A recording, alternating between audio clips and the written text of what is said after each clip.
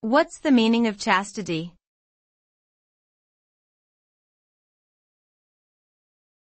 Chastity.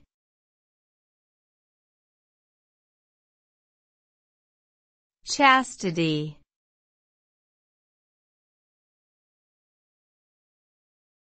Chastity.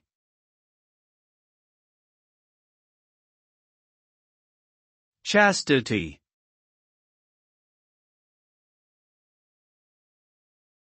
Chastity refers to the state of abstaining from any sexual activity, or any behavior that is considered to be sexual in nature.